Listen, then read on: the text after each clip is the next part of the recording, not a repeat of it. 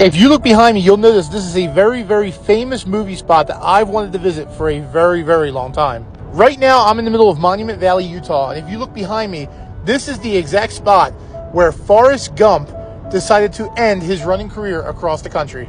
And if you look right here on the right side of the road, you'll notice this reflector pole right here matches up exactly in the spot where Forrest was standing in that movie.